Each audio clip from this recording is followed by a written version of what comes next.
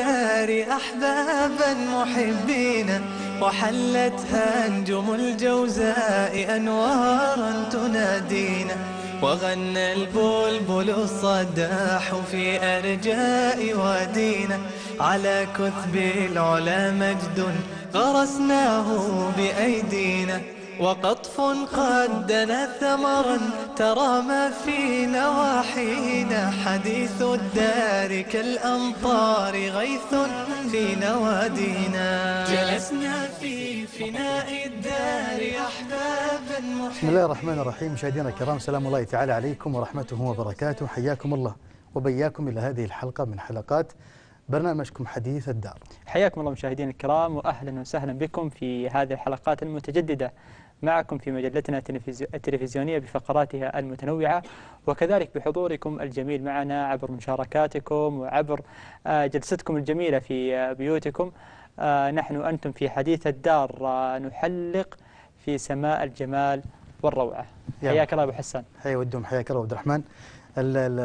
طبيعة الدار كما تعود المشاهدين الكرام تعيش أجواء البيوت. الآن الدور بشكل عام أو البيوت إن صح التعبير تعيش أهب يعني أهبة الاستعداد لاستقبال هذا الشهر المبارك. نسأل الله تعالى أن يبلغنا وإياك وإياهم وجميع المسلمين خيرات وبركات ورحمات هذا الشهر. وبالتالي آه، نعيش يعني صفحات من صفحات هذه المجلة اليوم وغدا وبعد الغد ختم هذه الحلقات التي عشنا فيها في وافر ووافر آه، المحبة والامتنان معكم مع المشاهدين. آه، نعيش في في نسمات ونفحات وصفحات رمضانية. ونحن من هنا من حديث الدار آه، نحفز كل من يتابعنا إن كانت له رسالة إن كانت له كلمة إن كانت له عبارة يسطرها في استقبال هذا الشهر المبارك خلال حلقة حلقتي آه، حديث الدار القادمتين. فنحن نسعد بها في هاشتاج حديث الدار وكذلك في أرقام التواصل التي تظهر معكم تباعا على الشاشة. جلسنا في فناء الدار أحبابا محبينا وحلت أنجم الجوزاء أنوارا تنادينا جلسنا في فناء الدار أحبابا محبينا وحلت أنجم الجوزاء أنوارا تنادينا جلسنا في فناء الدار أحبابا محبين وحلتها أنجم الجوزاء أنوارا تنادينا. وقطف قد دنا ثمرا ترى ما في نواحينا. حديث الدار كالأمطار غيث في نوادينا. جلسنا في فناء الدار أحبابا محبين. حياكم الله وبياكم. ما زلنا معكم في حديث الدار وصفحاتنا المتنوعة.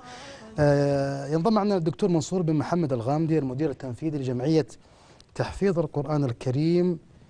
آه ضياء للحديث عن هذه الجمعية وماهيتها وأهداف هذه الجمعية. وحديث آه، آه، الدار يعني تشارك آه، بأسهم لتنقل للناس والعالم بأجمعه. ما يدور في في هذه المحاضن وهذه الجمعيات من خيرات وبركات ورحمات. حياك الله دكتور منصور معنا الآن على الهاتف دكتور منصور محمد الغامد حياك الله دكتور منصور. حياكم الله أخي الكريم واهلا وسهلا بكم وبارك فيكم. يا هلا وسهلا فيك ونسأل الله سبحانه وتعالى أن يبارك في جهودكم آه، في جمعية تحفيظ القرآن الكريم ضياء. آه، بداية لو عرفتنا عن جغرافية المنطقة والبرنامج والفعالية التي تقيمها آه، بشكل عام حلقات تحفيظ القرآن الكريم ضياء. آه، بسم الله الرحمن الرحيم. الحمد لله رب العالمين والصلاة والسلام على رسول الله. أولا محافظة المندق هي إحدى محافظات منطقة الباحة المباركة وهي تشمل عدة قرى منها قرى دوس ووادي الصدر وذا الخزمر وبني حسن وقرى المندق وبرحرح هذه الجمعية تشرف على كل كل هذه القطاعات آه، وكل هذه القرى آه، من آه، منطقة برحرح إلى قرية قرنضبي تقريبا 70 أو 75 كيلو امتداد هذه القرى. ما شاء الله. أبرز البرامج وفقك الله هي برامج للبنين والبنات. أما فيما يتعلق بجانب البنين فهي حقيقة برامج آه، كثيرة من فضل الله عز وجل ومتنوعة. آه، منها آه، برنامج المقرأة القرآنية وهذا تم هذا العام ولله الحمد. وهدفه أن يحفظ الطالب القرآن كاملا ويتلوه بلا أي خطأ. ومن البرامج الأخرى آه، برنامج آه، أيضا هذه هذا العام آه، قامت به آه، جمعية ضياء وهو آه، إخراج مجموعة من الطلبة الحفاظ آه، في سن مبكرة من عشر سنوات إلى السنة الثانية عشرة فقط لا غير. ما شاء الله. هؤلاء الطلاب طبعا آه، تعطيهم ال- الجمعية مكافأة شهريا 300 ريال في السنة الأولى. السنة الثانية 400 ريال. السنة الثالثة 500 ريال. فما يتخرج الطالب بعد ثلاث سنوات إلا وهو متقن إتقانا تاما للقرآن الكريم ويستطيع أن يدخل كل المسابقات الدولية والمحلية آه، بفضل الله سبحانه وتعالى. ويكون عندنا شبابا يانعين آه، من حفظة كتاب الله عز وجل يخدمون المنطقة. آه، أيضا سوى بعض البرامج التي تقيمها الجمعية مثل برنامج همم هدفنا أن يحفظ الطلاب المتون العلمية مثل مثل تحفة الأطفال وحفظ معاني الكلمات كلمات القرآن الكريم. ويوم الهمة الذي يراجع فيه الطالب ما حفظه آه، في خلال شهر كامل في يوم واحد. جميل. يعني مثل يوم السبت تقريبا. جميل. هذا فيما يتعلق باختصار ببرامج ال- البنين. أما القسم النسوي فهو أيضا مجال رائع وكبير ورحب وبرامج ثرية من فضل الله سبحانه وتعالى. آه، لدى الجمعية معهد اسمه معهد ضياء لتعليم القرآن الكريم. وهذا المعهد فيه دبلوم لحفظ القرآن الكريم آه، يتعلم فيها الأخوات العلوم الشرعية ويحفظن نصف القرآن في مدة سنة واحدة في عام واحد. ما شاء الله. ثم هناك عام آخر تكمل فيه الطالبة حفظ القرآن وتتلقى بعض العلوم الشرعية. جميل.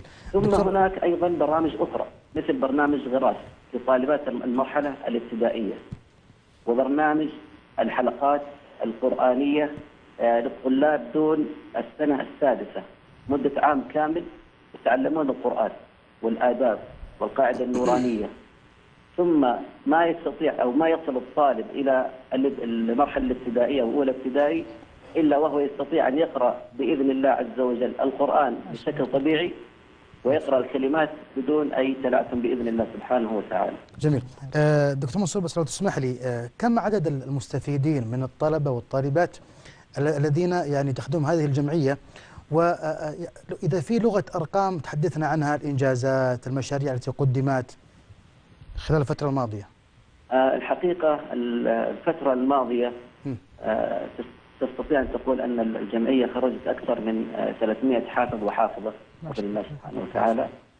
ال- الجمعية تشرف حاليا آه، أو أو آه، الطلاب الذين فيها والطالبات أكثر من 1500 طالب وطالبة آه، تصرف الجمعية تقريبا آه، مليونين وستمائة ألف على هذه ال- البرامج آه، التي تقيمها الجمعية على هؤلاء الطلاب وعلى الطالبات. الجمعية بفضل الله عز وجل لديها أيضا رؤية مستقبلية تطويرية للبرامج الجمعية بإذن الله عز وجل بحيث تستقطب كل شرائح المجتمع الكبار والصغار والأطفال وأيضا النساء بحيث نستطيع أن يكون بإذن الله عز وجل في كل بيت آه، حافظ لكتاب الله سبحانه وتعالى أو حافظة لكتاب الله وأن يكون النور بإذن الله عز وجل آه، قائما وحلما متحققا حفظ كتاب الله عز وجل في أغلب آه، البيوت. الله يبارك هذه في تقريبا أبرز ما يمكن إن شاء الله نتحدث عنه في الجمعية. تفضل. ال- الله يبارك في جهودكم دكتور منصور آه، الغامدي. هذه الجهود المعطاءة في آه، تحفيظ القرآن الكريم. نسأل الله سبحانه وتعالى أن يكلل هذه المسيرة بالنجاح الدائم وأن يمن عليكم بالتوفيق والسداد. كنت معنا مداخلا هاتفيا في حديث عن جمعية تحفيظ القرآن الكريم ضياء. شكرا لك. آه، أبو حسان. هلا عيوني كيف؟ أنا آه، أنا سرحت مع بعض إيه. الفقرات اللي هو ما شاء الله رمضان آه، على قولهم يعني ما ما أخذ الجو. الزملاء عدوا لنا في آه، انفوجرافيك أصناف الناس في رمضان. نتابع. هذا الانفوجرافيك جلسنا في فناء الدار أحبابا محبينا. تختلف أحوال الناس في استقبالهم لرمضان. منهم من تشغله المباريات والمنافسات الرياضية ومنهم من يمضي أيام الشهر ولياليه في متابعة المسلسلات والبرامج. وصنف آخر همه الأكل والشرب والتسوق. وكثير من الناس يمضي رمضان في النوم والراحة فيقبل عليه شهر الخير وينقضي دون الاستفادة منه. يقول عليه الصلاة والسلام رغم أنف رجل دخل عليه رمضان ثم انسلخ قبل أن يغفر له. ولئلا ننطوي تحت هذا الوصف علينا أن نستعد لاستقبال شهر رمضان بعزيمة قوية ونية صادقة بأن نستغل أيامه ولياليه لنفوز برضا الله. ونكون كشخص دخل مزرعة مليئة بأنواع الثمار والطيبات فيجمع منها قدر طاقته. خطط لاستغلال وقتك في رمضان ولتبدأ من الآن. هل تعلم أن عدد ساعات شهر رمضان 720 ساعة فقط يذهب فيها ما يقارب 660 ساعة بين نوم وأكل وشرب وزيارات وغيرها من أعباء الحياة المختلفة ولا يتبقى لك سوى 60 ساعة تعادل خمسة أيام فقط؟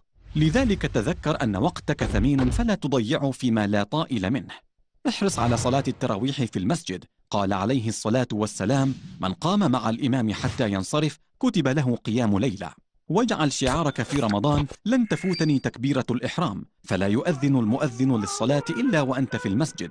أكثر من تلاوة القرآن واعقد العزم على ختم كتاب الله ولو ختمة واحدة وستجد الوقت الكافي بعد أذان كل صلاة. وليكن هدفك تدبره والعمل بما فيه وليس زيادة عدد الختمات. في شهر رمضان عشر ليال من أعظم ليالي العام وفيها ليلة خير من ألف شهر. الكثير منا يضيعها في التسوق والتجهز للعيد. لذلك أنصحك بإنهاء كل هذه المشاغل من الآن قبل دخول رمضان وإملاء وقتك بالذكر والدعاء طيلة الشهر الكريم فأبواب السماء مفتوحة. رمضان ضيف قادم فأحسن استقباله. وقطف قد دنا ثمرا ترى ما في نواحينا. حديث الدار كالأمطار غيث في نوادينا. جلسنا في أبو فناء حسان نحن نتابع المقطع هذا. وهو يتكلم عن أصناف الناس في رمضان. آه لعله يتبادر في أذهاننا وفي أذهان كل من يتابعنا الآن. ما هو مشروعك في رمضان؟ هذه الثلاثين يوم هذه ال- المحطة ال- نحن ممكن نسميها المحطة الذهبية في في حياتك نعم. في عامك. آه كيف ستقبل عليها؟ ما المشروع الذي ستحمله آه خلال الثلاثين يوم؟ آه كيف ستقابل ربك؟ ما هي الأفكار والمبادرات التي تنطلق منها وإليها؟ ذكر أصناف الناس في رمضان بين لاه وساهن وبين عابد وقانت. لكن يمكن إحنا نقول واحدة من المشاريع المهمة. اللي نحن نحتاجها قبل قبل أن يبدأ رمضان آه أن نجدد التوبة مع الله سبحانه وتعالى. نحن نتكلم على 12 شهر ماضية من شوال السنة الماضية إلى رمضان في هذا العام. آه كانت مليئة بالذنوب والمعاصي والسيئات. تخطفتنا الحياة وتقلبنا في آه يعني أمواجها العاتية آه بين لاه وساهن بين مذنب ومخطئ. لا يدخل علينا رمضان في الأيام القادمة إلا وكل واحد يكون جدد علاقته بالله سبحانه وتعالى من حيث التوبة والأوبة. آه الله سبحانه وتعالى سعيد بهذا بهذه ال- بهذه المبادرة البشرية أن يكون لله تائبا. وتوبوا إلى الله جميعا أيها المؤمنون لعلكم تفلحون. وفي الآية الأخرى في سورة إبراهيم فاطر السماوات والأرض يدعوكم ليغفر لكم من ذنوبكم.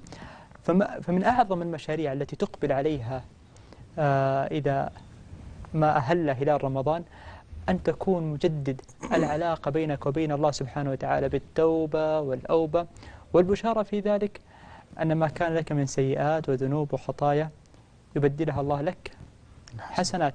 فتدخل برصيد عال من الحسنات ويعان ويعان المؤمن على ذلك بعباداته وطاعاته خلال هذه آه، المحطة الإيمانية التي يعيشها في رمضان. يا ذا الذي ما كفاه الذنب في رجب. حتى عصى ربه في شهر شعبان. لقد أضلك شهر الصوم بعدهما فلا تصيره أيضا شهر عصيان. واتل الكتاب وسبح فيه مجتهدا فإنه شهر تسبيح. وقرآن كم كنت تعرف ممن كان في سلف من بين أهل وإخوان وخلان أفناهم الموت. واستبقاك بعدهم حيا فما أقرب القاصي من الداني أبو عبد الرحمن لو نتأمل فعلا إيش اللي اللي في قبره الآن؟ شو يتمنى؟ رب يرجعون لعلي أعمل صالحا في يتمنى يسبح الله مرة واحدة لأنه يعرف وهو في القبر عظم وقيمة التسبيحة. فكيف يا أخي باللي يعرف قيمة وعظم ثلاثين يوم؟ يعني أنا أقول يعني آن لذنوب يا أخي أن تبدد وآن لنفوس أن تنطرح بين يدي الله. والله يا أخي كلنا مثقلين بالذنوب والخطايا والسيئات. يا أخي إذا لم يكن رمضان هو المحطة التي يقبل فيها العبد ربي متى يا أخي؟ إذا لم يكن رمضان هي البوابة التي ندلف بها إلى رحمة الله رضوان الله بركات الله رحمات الرحمن تتنزل في كل يوم. له عتقاء له عتقاء له عتقاء. والمصيبة أننا ما زلنا ربما نحفل بملابس العيد من الآن نشتريها. وشماغ العيد؟ وفساتين العيد البنات والزوجات والأهل. ولكن ما داخل الجسد يا أخي. أعظم ما يربي رمضان المسلم يا أخي أن يطهر قلبه. لعلكم تتقون. من, من, من, من جمال هذه الآية يا أخي أنا أسأل نفسي وإياكم المشاهدين الكرام. كم نسمع أئمة المساجد وهم يق- يقرؤون؟ إن للمتقين مفازا. يا أخي اسأل نفسك هل أنا من المتقين؟ إن المتقين في جنات ونهر. إن للمتقين عند ربهم جنات النعيم. أنا أسأل نفسي يا أخي رمضان تدبر يا أخي. كان يدارسه في رمضان مرتين. ليش؟ يا أخي القرآن إذا ما إذا ما يعني تشربه القلب. ما عاش. بعض الناس قال والله أنا بشرك كم ختمت؟ قال والله أربع ختمات. ولا ترى له أثر عليه يا أخي. لا على سلوكه ولا على أخلاقه ولا حتى في عبادته. وبالتالي فعلا وأنت تستقبل هذا الشهر سل الله أن يهيئ قلبك أن يهيئ قلبك لنفحات هذا الشهر فبهذا القلب تعتلي وتعلو عند الله عز وجل. وفي هذا المقام يحسن التذكير ببعض الأدعية المهمة. التي يعان بها المؤمن على الطاعة وعلى العبادة. اللهم أعني على ذكرك وشكرك وحسن عبادتك. أنت ستقبل في هذه الثلاثين يوم على موسم يكثر فيه العباد والعبادات والطاعات. فما أجمل أن تكون في الركب بينهم عابدا ومتبتلا ومنكسرا لا أن يسيروا إلى الله سبحانه وتعالى وأن تكون من المتأخرين. فإكثارك من الدعاء اللهم أعني على ذكرك اللهم أعني على ذكرك وشكرك وحسن عبادتك. لعل الله سبحانه وتعالى يلقى فيها منك صدقا فيفتح لك أبوابا كانت موصدة ومغلقة. يا حي يا قيوم برحمتك أستغيث أصلح لي شأني كله. ولا تكلني إلى نفسي طرفة عين أبدا. بعض الأحيان قد آه، نؤتى من قبلنا أننا آه، وكلنا إلى أنفسنا ببرامجنا وبالخطط التي آه، قدمناها و- والتهيئة التي نظن أننا إذا ما أقبل رمضان سنكون في في المقدمة من العباد والزهاد لكن أول ما يدخل الشهر نخذل لأننا وكلنا إلى أنفسنا ولم نوكل إلى الله سبحانه وتعالى. فلم يكن هناك من الله عون وإذ لم يكن عون من الله للفتى فأول ما يجني عليه اجتهاده. ترى هذه الأيام هي أيام انكسار هي أيام تبتل. حتى إذا ما أقبل رمضان يقبل علينا ونحن قد أقبلنا عليه بإنكسارنا بإيماننا بحبنا لله سبحانه وتعالى وبإصرارنا على المنافسة. وأن نكون كما قلنا في الحلقة السابقة والحلقات الماضية وما أجملها من شعار والسابقون السابقون أولئك المقربون. وعجلت إليك ربي لترضى. هذه الشعارات تحفز المؤمن أن يلقى الله سبحانه وتعالى على صدق وعلى إيمان ويقول يا رب هذه حيلتي وهذه قدرتي وهذا جهدي. لكن يا رب منك العون منك التكلان وأنت المستعان على ما نقدم عليه من عبادة وطاعة. جميل. لذلك سل نفسك أخوي أحمد وأنا أسأل نفسي وأنت أخي الكريم سل نفسك هل قلبك فرح باستقبال رمضان؟ أنا أتوقع كل مسلم بيقول إيه أنا فرح فرحان باستقبال رمضان. لكن سل قلبك السؤال الثاني هل استعد قلبك أن يتغير في رمضان؟ أن ينطرح ويطرح الذنوب والمعاصي وأن يغلق الأبواب كلها ويجعل هناك باب واحد إلى الله عز وجل؟ هذا السؤال الذي ينبغي لنا أن نعيده مرات ومرات. وثق ثقة تامة أخوي أحمد أخوي مشاهد الكريم ثق ثقة تامة أن في لمحة بصر سيقال غدا هو أول أيام عيد الفطر المبارك. آه، حديث سيكون ماتع وشيق بإذن الله مع الشيخ علي باقيس. آه، وحديث فياض عن نسائم رمضان إن شاء الله في فقرة آه، ضيف الدار. لكن حتى هذه الاستضافة والضيافة نذهب وإياكم مشاهدينا الكرام إلى تقرير الدفاع المدني والدورة التأهيلية التي يقدمها لرواده ومنسوبيه مع الزميل عبيد البركاتي. جلسنا في فناء الدار أحبابا محبينا رعى ولي العهد نائب رئيس مجلس الوزراء وزير الداخلية الأمير محمد بن نايف حفل تخريج طلاب الدورة التأهيلية على أعمال الدفاع المدني وذلك بمقر قوات طوارئ الدفاع المدني الخاصة في منطقة مكة المكرمة. وكان في استقبال ولي العهد لدى وصوله مقر الاحتفال مدير عام الدفاع المدني الفريق سليمان العمر وقيادات المديرية العامة للدفاع المدني والذي عبر عن سعادته برعاية ولي العهد حيث قدم الخريجون عرضا لعدد من المهارات والتطبيقات العملية التي تؤكد المستوى المتميز الذي وصلوا إليه. الدفاع المدني الحقيقة آه، لديه قدرات وإمكانيات ونحن آه، آه، نتطور مع كل مستجد وكل متغير. نحاول بقدر المستطاع أن ندرب كافة الأفراد على كافة المهارات التي تمكنهم من أداء عملهم مع كافة المتغيرات. وكما تعلم المواد الخطرة تشكل آه، خطر آه، آه، السيول والأمطار آه، آه، كذلك القطارات كذلك ال- الحوادث آه، في الأماكن الضيقة. هذه كلها يتدرب عليها الأفراد ويزودون بكافة الإمكانيات والمعدات التي تمكنهم من أداء عملهم بالصورة بالشكل السليم.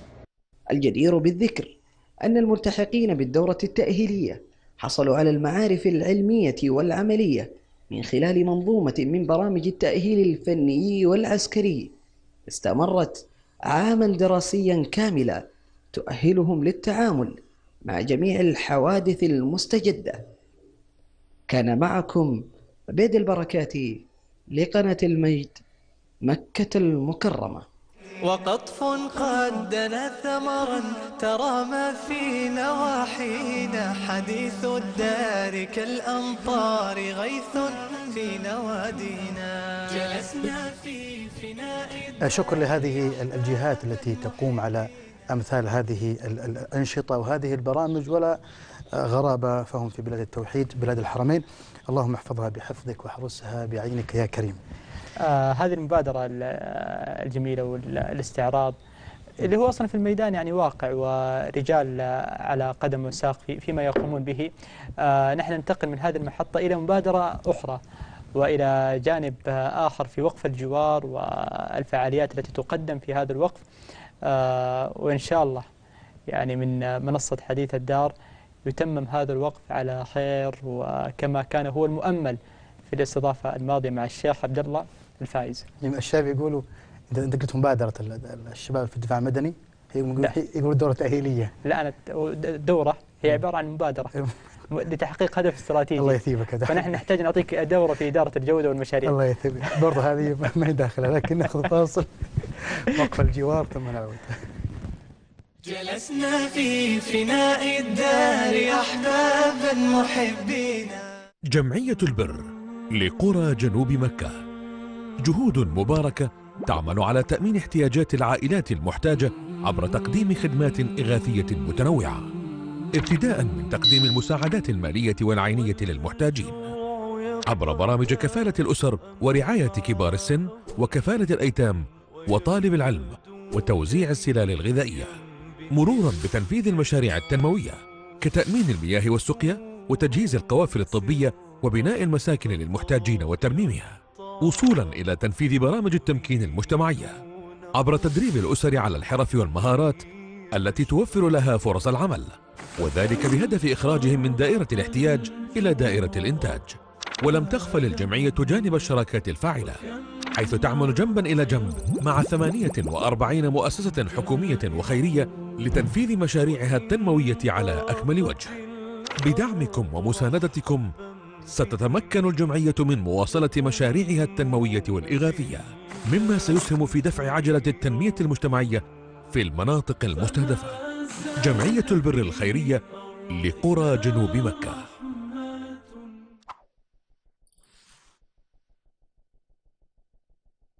وقطف قد دنا ثمرا ترى ما في نواحينا حديث الدار كالأمطار غيث Rumputnya hijau. The sky is blue.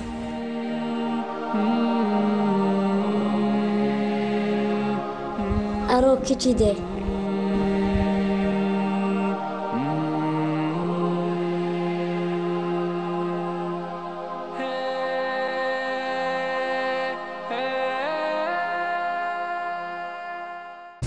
ما زلتم سبب نجاحنا وعطائنا ولنا فيكم حقكم من الشكر والعرفان.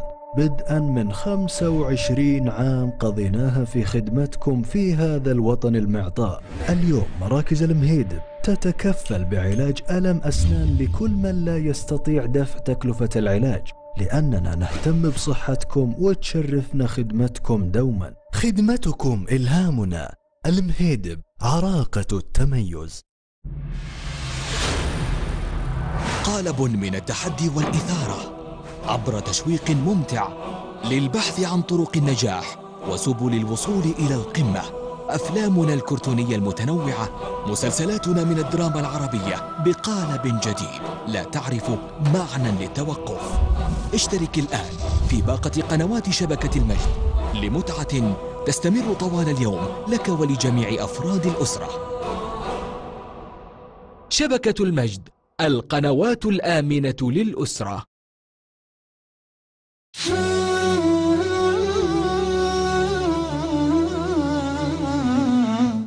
وقف الجوار بمكة المكرمة فرصة للمساهمة في أقدس البقاع حيث الفضل والأجر المضاعف.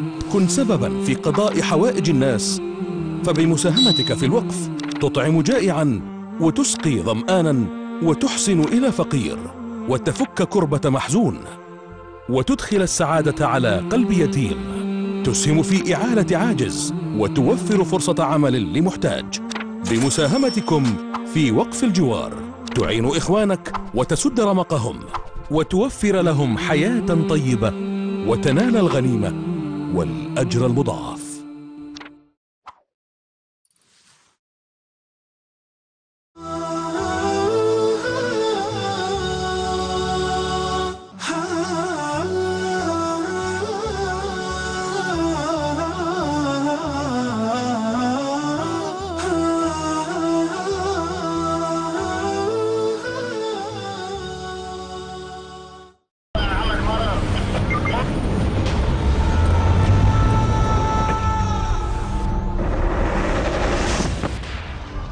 أحداث مثيرة ومشوقة. كلنا نموت ونحيا بقدر الله مع ألمع النجوم في رمضان. الشر والفساد ما له نسب ولا لون.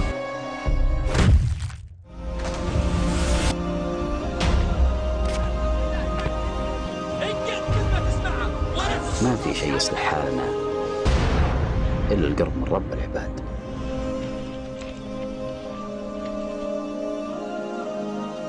لا يفوتك. جدد اشتراكك الآن لمدة 24 شهرا بألف ريال واحصل على قسائم شرائية بقيمة 250 ريال. شبكة المجد القنوات الآمنة للأسرة. وقطف قد دنا ثمرا ترى ما في نواحينا. حديث الدار كالأمطار غيث في نوادينا. جلسنا في فناء الدار أحباب. حياكم الله مشاهدينا الكرام وأهلا وسهلا فيكم في فقرة ضيف الدار. نحن نسعد كثيرا وإن كانت هذه الاستضافة أتت متاخرا لكن أن تأتي خيرا من أن لا تأتي مع الشيخ علي باقيس. اليوم حديثنا مع آه، أو حديث عن نسائم رمضان. حياك الله شيخ علي. حياكم الله واهلا ومرحبا بكم وبالإخوة المشاهدين والمشاهدات. والنسائم هلت برؤيتكم والمشاركه. في هذا البرنامج. أنت نسمة مباركة يا شيخ علي. الله يبارك فيك. آه، رمضان أقبل قم بنا يا صاحي. هذا زمان تبتل وفلاح. الناس الآن شيخ علي في رمضان أو قبيل استقبال رمضان لا شك أنه الواحد قد السعاد وفرحان و- وسبحان الله كذا يشعرون أنه رمضان له طابع خاص أصوات التراويح تقليب صفحات القرآن في حركة داخل البيت داخل الأسرة داخل المسجد. آه، ماذا عن هذه النسائم الرمضانية؟ الحمد لله رب العالمين والصلاة والسلام على نبينا وحبيبنا محمد بن عبد الله وعلى آله وصحبه وعلى من سار على نهجه إلى يوم الدين. آه هذه النفحات وهذه المشاعر وهذه الأحاسيس آه لا شك أن كل مسلم يشعر بها. حسبك أن أصحاب النبي صلى الله عليه وسلم والسلف الصالح كانوا يستشعرونها قبل مقدم رمضان بستة أشهر. اليوم البعض لا يتذكر رمضان إلا في شعبان. أما أولئك الأولى فكانوا ستة أشهر يدعون الله أن يبلغ أن يبلغهم رمضان. وانظر يحسبون الوقت. والنبي صلى الله عليه وسلم كان يتهيأ لهذا الشهر ويفرح بمقدمه ويستشعر هذه اللحظات أصحابه معه. ولذلك كان النبي صلى الله عليه وسلم ربما يخرج ليرى الهلال بنفسه. فإذا رأى الهلال واكتحلت به عيناه قال اللهم أهله علينا باليمن والإيمان والسلامة والإسلام. وربما يأتي الأعرابي فيقول يا رسول الله رأيت الهلال. فيقول أتشهد أن لا إله إلا الله؟ فإن شهد أمر بلال أن ينادي في الناس. يا الله. وإذا دخل رمضان وقف النبي صلى الله عليه وسلم وقال أتاكم شهر مبارك فرض الله عليكم صيامه فيه تفتح أبواب الجنة وتغلق أبواب النيران وتصفد مردة الشياطين والجان فيه ليلة هي خير من ألف شهر من حرمها فقد حرم الخير. يبشرهم يذكرهم. وينزل بنفسه. آه مرحبا أهلا وسهلا بالصيام. يا حبيبا زارنا في كل عام. قد لقيناك بحب مفعم كل حب فيه سوى المولى. حرام. فاقبل اللهم ربي صومنا. ثم زدنا من عطاياك الجسام. لا تعاقبنا فقد عاقبنا. سهر قلق أسهرنا جنح الظلام. رمضان لحظات رائعة. ولذلك يعني الدموع تنهمر. والإنسان يحبس أنفاسه الآن وهو يتمنى أن يدركه رمضان هذا العام وأن يبلغها الله ذلك الشهر. ما أجمل كما ذكرت صوت المآذن وهي ترتل القرآن. ما أجمل تلك سفر ال- الإفطار عند المساجد. ما أجمل الأطفال وهم في المسجد يعني يعني يعيشون تلك اللحظات. أذكر مرة والحديث حديث دار. أبد. أن رحلة كانت لي بالخطوط السعودية في الجو كانت أجمل رحلة في حياتي ركبت فيها الطائرة. آه، كنت في يوم من أيام رمضان وكنت ضيف على قناة المجد بالرياض. استديوهات الإخوة نحييهم ومسافر. آه، آه، مسافر مسافر. من جدة مم. الرحلة تنطلق الساعة الرابعة يؤذن العصر في جدة الساعة أربعة إلا خمس دقائق إذا أدركني الأذان وأنا في الطائرة أقلعت الطائرة وبدأ الجميع يبحث عن المصلى في الطائرة. رمضان حتى الذي لا يصلي يصلي. الناس يسألون وبدأت الرحلة والناس ستة ستة ستة أشخاص على المصلى يصلون. إلى أن وصلنا مساحته صغيرة،. صغيرة مساحته. وهذا يصلي وتسمع إقامة الصلاة ويكبرون. لم توزع وجبات بل أخرج كل واحد جواله ومصحف وبدأت تسمع دوي القرآن في الطائرة. والمضيف والمضيفة يقرؤون القرآن كأنما أنت في مسجد في تلك اللحظة. حتى لما هبطت الطائرة ودخل وقت الأذان وزعت الوجبات وتوقفت الطائرة وبدأ الناس الذي يدعو والذي يتناول انقلبت تلك الطائرة إلى نفحات إيمانية وكأنما أنت في مسجد. فما بالك ببيوت الله ما بالك ببيوت الصالحين ما بالك بليالي رمضان الجميلة. حديث الأشواق يا شيخ علي باقس هو أكثر حديث ممكن يحفز آه، المرء على يعني أن يدخل رمضان وهو مستقبل وهو مستشعر عظمة ما سيقبل عليه. لكن أيضا هناك حديث آخر هو حديث آه، السلف الصالح. وحالهم مع رمضان وكيف كانوا يستقبلون رمضان وكيف كان آه، ليلهم ونهارهم في هذا الشهر المبارك. آه، وفيه ملامح ورسومات عامة لطريقنا آه، وآلية تعاملنا مع هذا الشهر المبارك. هذا الشهر عظيم. وحسبك كما قلت أنه تفتح فيه أبواب الجنة الثمانية. يعني كل عمل صالح في ذلك الشهر ستجد له باب إلى الجنة. نعم. ولذلك السلف الصالح عندما استشعروا هذا الأمر لم يضيعوا لحظة من لحظاتهم. إذا كان العلماء يعني يفضون حلق التدريس وينبرون للقرآن الكريم. كانوا يحيون ليلهم بالقراءة وبالصلاة وبالقيام يعمرون نهارهم بتلاوة القرآن. عندما تسمع أن الإمام الشافعي يختم في رمضان ستين ختمة. وهذا الأمر كنت أنا أستغربه. إلى أن رأيت عندنا هنا في جدة من يختم في رمضان ستين ختمة. يعني في كل يوم ختمتين. ختمتين. طبعا هذه الختمة ختمة سريعة حدر لكن حافظ القرآن يستشعر معنى الآية في أول بداية قراءتها. ولذلك يعني يختم في ست سبع ساعات ختمة. ومن عاش مع القرآن شيخ علي يعني آه، ما هي غريبة أنه أصلا نعم. ولذلك رمضان أنت الآن تجد يعني في نفح يعني السلف الصالح طبعا كانوا يحفظون ألسنتهم يجلسون في المساجد كانوا يجدون بالخير وحسبنا أن حبيبنا صلى الله عليه وسلم يعني كان أجود ما يكون في رمضان. رمضان من نفحاته مواساة المساكين. تعرف أن الفقراء حتى ينظرون لرمضان. لأن هذا الموسم الذي سيتصدق الغني وسيسأل عنهم وسيبحث عنهم. خيرات. خيرات. كم من مريض عولج في رمضان؟ ومديون قضي دينه في رمضان. فك الآن بعض المسجونين الآن.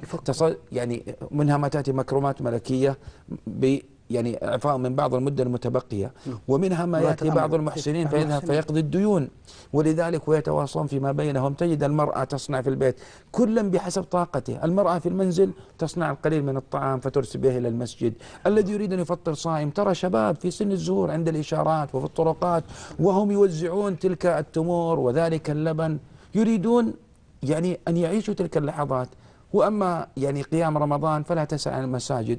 ترى بعض الشباب سبحان الله يقف في العشر الأواخر في رمضان عند بعض الأئمة والله أنك تستغرب إذا رأيت الشاب تقول هذا يعني ليس عنده جلد العبادة لكن يقف ساعتين وثلاثة.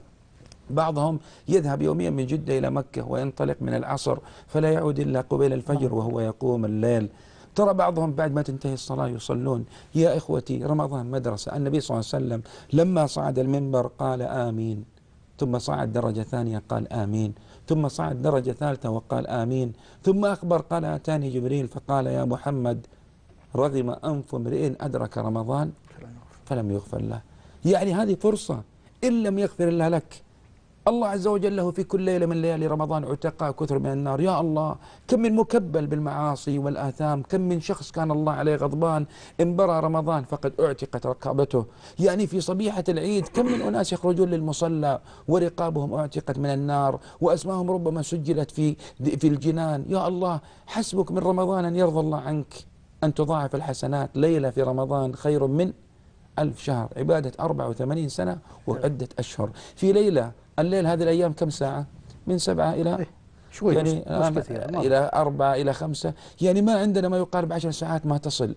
ولذلك ما أجمل أن نستعد. اليوم الناس يستعدون لرمضان لكن للأسف يستعدوا بإيش؟ بالمقاضي والملابس بالمقاضي. والأكل وكاننا داخلين مجاعة. أيوة. ويصبحون الناس لا يا أخي رمضان أنا أقول لكل إنسان أهمس أذنه. استعد لرمضان. بقي يومين أو ثلاثة على رمضان يا أخي إن كان عندك مقاضي من الليلة إن كان عندك ملابس العيد يا أخي اقضيها.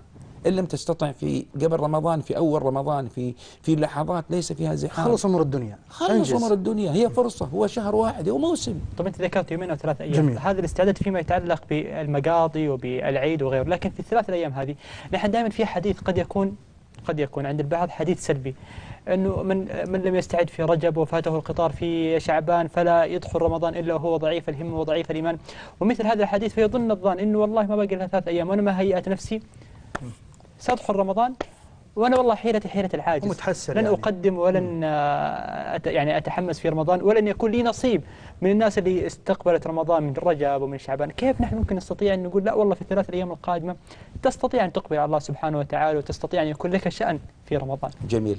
آه، أسلم رجلان في عهد النبي صلى الله عليه وسلم. الله ودفع بهما لطلحة بن عبيد الله. بات عنده ليالي وأيام ثم نادى المنادي للجهاد في سبيل الله فخرج فقتل أحدهما وعاد الآخر فمكث ما يقارب عام ثم مات على فراشه.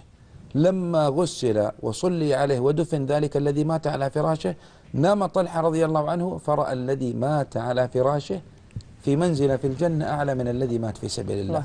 ولما قص الخبر عن النبي صلى الله عليه وسلم قال أوليس قد عاش بعده كيت وكيت؟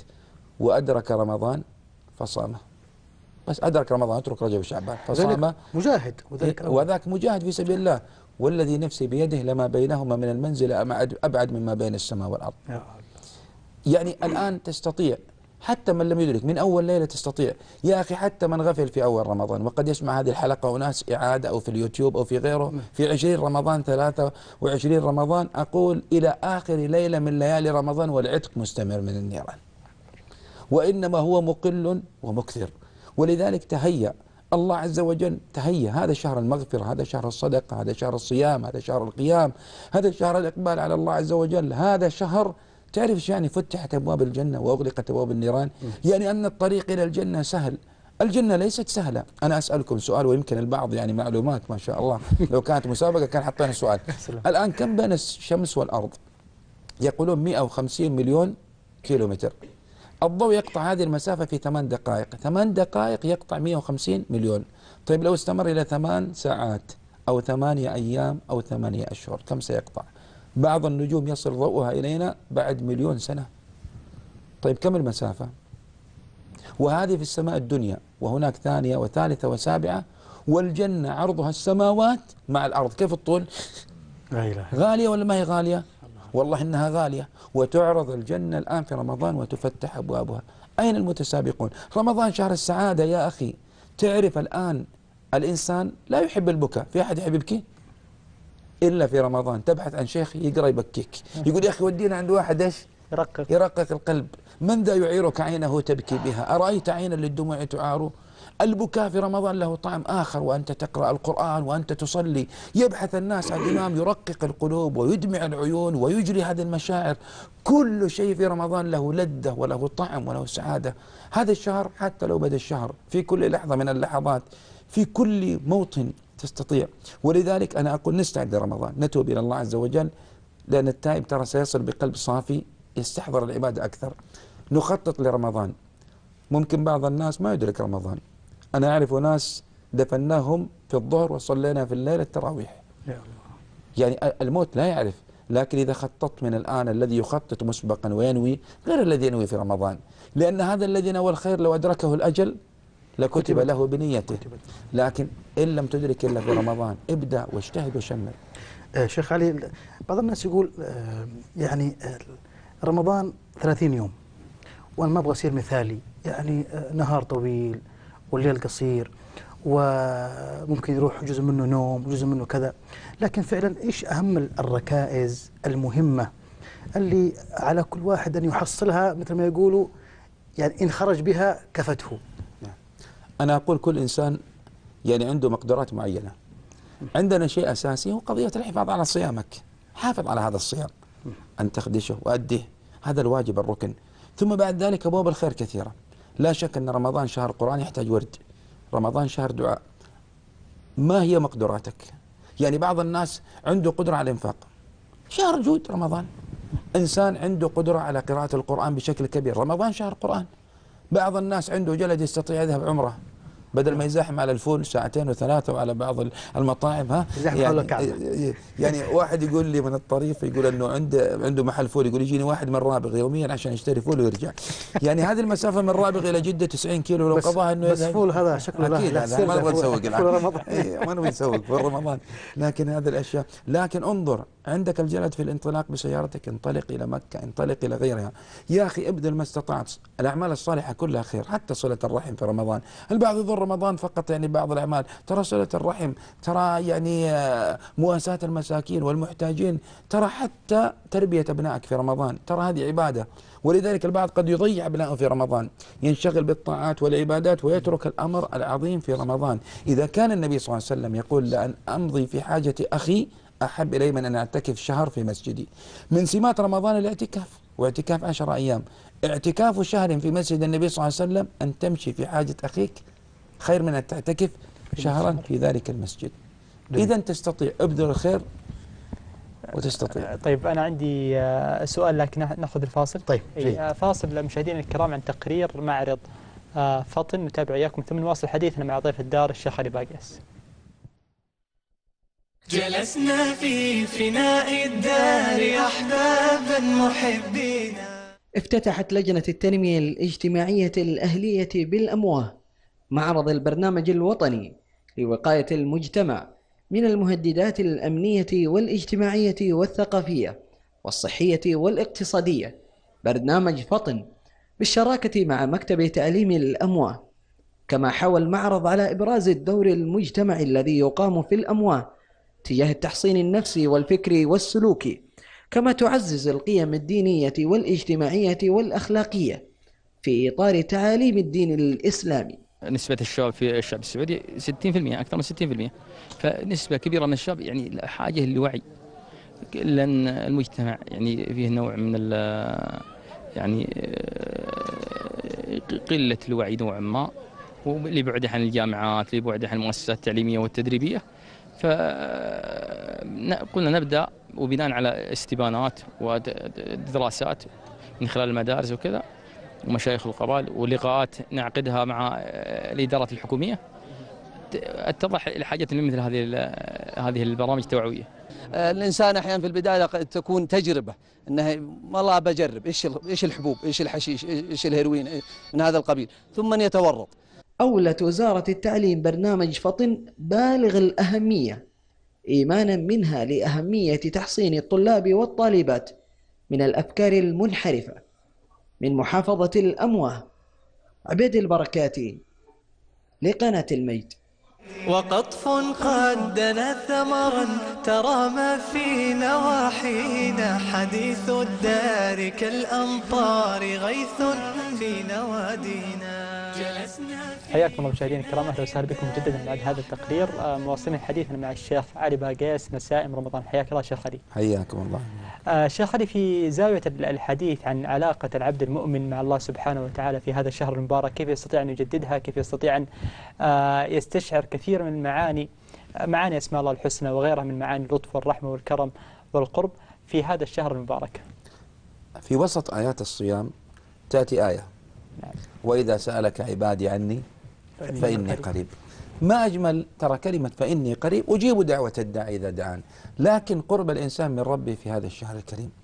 ما أجمل أن يكون الإنسان في هذا الشهر قريبا من الله بتلاوة كتابه قريبا من الله بالقيام بين يديه قريبا من الله بكل طاعة حتى في تدبر كما ذكرت الأسماء الحسنى والصفات.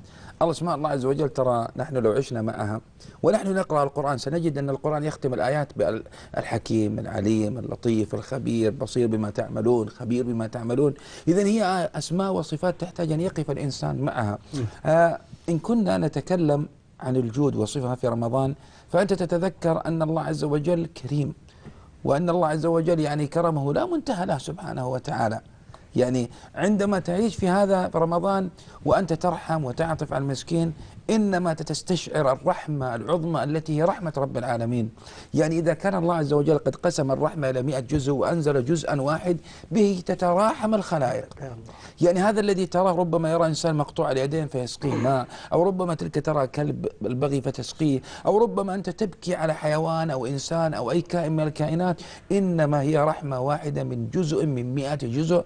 حتى الأم ترحم صغيرها وادخر الله عز وجل 99 جزءا يرحم به المؤمنين. تعيش فتستشعر مدى رحمة الله عز وجل مدى كرم الله. نعم الله تستشعرها في رمضان عندما تمنع من الطعام. الآن أنت تمتنع عن الطعام وتعلم أنه مع المغرب سيأتيك طعام. كم من المسلمين الذين لا يجدون طعام ولا يدرون متى يأتيهم طعام؟ متى يسقون؟ عندما تستشعر بهذه الآلام وهذا الصبر فتستشعرها وتحتسب. إذا حتى نعمة الله عندما تشرب هذا الماء ذهب الظمأ وابتلت العروق وثبت الأجر. عندما تقول هذا الذكر استشعر أن عاقبة الصبر حميدة وأنه غدا في الجنة ستقول ذهب الظمأ وذهب النصب وثبت الأجر. وإلا الصوم. إلا الصوم فإنه لي. لا وانظر الطاعة تنقضي فيبقى ثمر تبقى ثمرتها وأجرها والمعصية تنتهي بلذتها ولا يبقى إلا الإثم والحسرات والويلات. هذه كلها أشياء. اقترب إلى الله عز وجل. عندما يأتي قيام رمضان وفي العشر الأواخر يقوم الناس في الأسحار هنا يحدث حدث عظيم في الكون. يدن الله إلى سمائه الدنيا. يا أخي هل تستشعر هذا الشيء؟ الله الكريم المتعال يقول هل من سائل فأعطيه. ملك الملك يقول هل من سائل فأعطيه. وقفت إحدى العابدات من النساء بعد أن صلت العشاء فقامت تصلي. وقالت يا ربي نامت العيون وغارت النجوم. وأغلقت الملوك أبوابها وبابك مفتوح. وخلع كل حبيب بحبيبه ووقفت أناجيك ثم قامت تصلي حتى أذن الفجر. فلما أذن الفجر بكت وقالت يا رب هذا الليل قد أدبر وهذا الصبح قد أسفر. فيا ليت شعري أربحت فأهنى أم خسرت فأعزى؟ وعزتك وجلالك لهذا دأبي ودأبك ما بقيت أبدا. ثم تقول اللهم اغفر لي في سوء أدبي في عبادتك تزدري نفسها وإلا هي قامت بعبادة عظيمة. مناجاة الله والعيش مع الله في تلك اللحظات والانكسار. التي والانكسار. وهذه امرأة. جميل نعم. شيخ جميل شيخ. شيخ نحن نعيش في نسائم هذه الأجواء الرمضانية. آه، في فئة غالية على على قلوبنا جميعا. أمهاتنا نساءنا بناتنا داخل البيوت. هل من نسمات؟ هل من نفحات؟ آه، يعني نستطيع أن نفتح لهن آفاق جميلة في هذا الشهر. يا سلام يا سلام. للأسف يا أخي أن بعض النساء تهلك في رمضان في المطبخ. صحيح. فربما تفقد تلك النسمات الرائعة بينما المرأة تستطيع أن تجد نسمات رائعة جدا. ترى حتى في المطبخ. صح. عندما تصنع الطعام وهي تحتسب الأجر وتطعم هؤلاء الصائمين زوجها وأبنائها صحيح. وترسل ربما لجارتها والحياة الاجتماعية. فهذا باب. لكن أيضا ما أجمل أن يكون للمرأة وردها من القرآن ولحظاتها من ذكر الرحمن. ما أجمل أن ترتب وقتها أن تجد وقت فتقوم فتصلي. المرأة لا تحرق نفسها في هذا الطبخ وأنواعه. هناك وقت محدد منه تحتسب الأجر في الإطعام لكن نحتاج حقيقة إلى قضية أن تعيش المرأة. لا أقل أن تسمع القرآن وهي في المطبخ. أو الإذاعة. أو في الإذاعة أو في غيرها وهي تقوم بشأنها. ومع ذلك لا تنسى اللحظات لا تنشغل إلى أن يؤذن المؤذن. تجعل لها لحظات في الدعاء. والبيت لابد أن يراعي ذلك الأمر ولا يكلفها فوق هذا. إذا كان النبي صلى الله عليه وسلم يقول لا تمنعوا إماء الله مساجد الله. وذلك أنه هناك تحفيز للمرأة على الطاعة. وإن كان صلاتها في بيتها أفضل لكن لا تمنع لأنك يفترض أنت كزوج وكابن أن تساعد وأن تحث في هذه اللحظات. نعم. المباركة. نسأل الله يعني أن أن يبلغنا رمضان وأن يسلمنا إلى رمضان ويسلم لنا رمضان ويتسلمه منا متقبلا آه مباركا شيخ خلينا نحن في ختم هذه الحلقة. إن كانت من رسالة آه ختامية وتغريدة في آه في ختام هذه الحلقة ونحن على أبواب رمضان. أقول إن كان من كلمة ختامية فهو الضيف الكريم قد أقبل وما بقي إلا ساعة ويطرق الأبواب. هيئوا الدار. واستقبلوه. فإنه ضيف كريم أن ارتحل فلن يعود إلى قيام الساعة. الله يكرمك الشيخ علي أسعدتنا في هذه الليلة. صلى تعالى أن يبلغنا وإياكم والشيخ علي وأخوي أحمد هذا الشهر المبارك ويجعلنا وإياكم فيه من الصائمين القائمين المقبولين عنده عز وجل. إلى هنا مشاهدينا الكرام انتهت حلقة حديث الدار لهذا اليوم على أمل أن نلقاكم في حلقات متجددة. كونوا بصحبتنا في الأيام القادمة. نراكم إن شاء الله غدا في رعاية الله. سلام الله تعالى عليكم ورحمة منه وبركاته جلسنا في فناء الدار أحبابا محبين وحلت أنجم الجوزاء أنوارا تنادينا جلسنا في فناء الدار أحبابا محبين وحلت أنجم الجوزاء أنوارا تنادينا وغنى البلبل الصداح في أرجاء وادينا على كثب العلا مجد غرسناه بأيدينا. وقطف قد دنا ثمرا ترى ما في نواحينا. حديث الدار كالأمطار